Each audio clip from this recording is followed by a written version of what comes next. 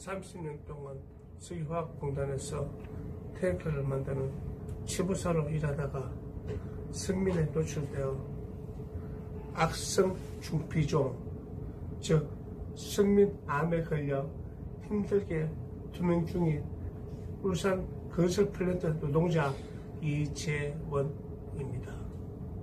작년에 갑작스럽게 아파 병원에서 승민암 판정을 받고 어, 오른쪽 배 전체를 전절제하는 수- 수술을 받았고 지금 현재도 보시다시피 어, 항암 치료를 힘들게 하고 있습니다. 과거 승민이 얼마나 무서운지 모르고 석유화학 공단에서 일하면서 아무런 보호 장비도 없이 승민을 만지고 취급한 것이 지금은 뻗지게 후회가 되고 돌이킬 수 없는 현실에 눈물만 쏟아집니다. 다행인지 불행인지도 모르지만 나는 산재 판정을 어렵사리 받았지만 산재 판정을 받은들 무슨 소용이 있겠습니까? 사랑하는 아내와 가족을 생각하면 가슴이 찢어집니다.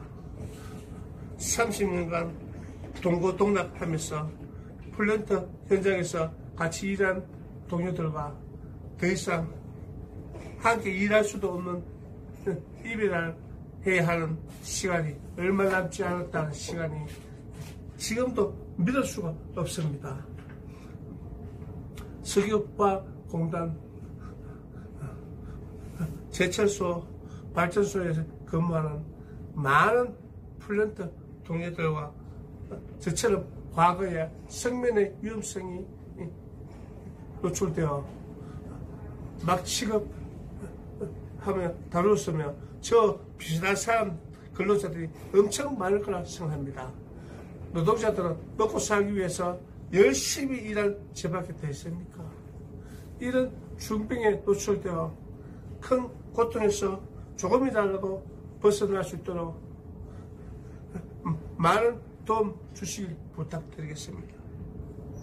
지금까지 생명 보온제나 생명 제품을 엄청나게 많이 사용하고 있는 석유화학공단에 어느 누구도 큰 관심을 보, 보이지 않았는데 국가 차원에서 플랜트 건설 노동자들의 생명 피해 여부에 대한 검사와 지원이 절실합니다.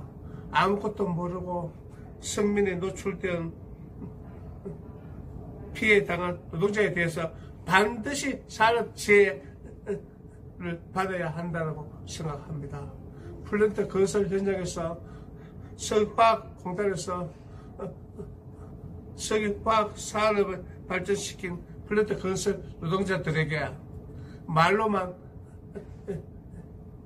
산업역군이라 말씀하시지 마시고 생명에 노출되어 저 같은 고통을 겪고 있는 건설 노동자들에게 이 사회와 이 나라가 이 정부가 더 많은 관심을 가지고 신경을 써주셔서 많은 도움 주시기를 진심으로 간곡히 부탁드리는 바입니다.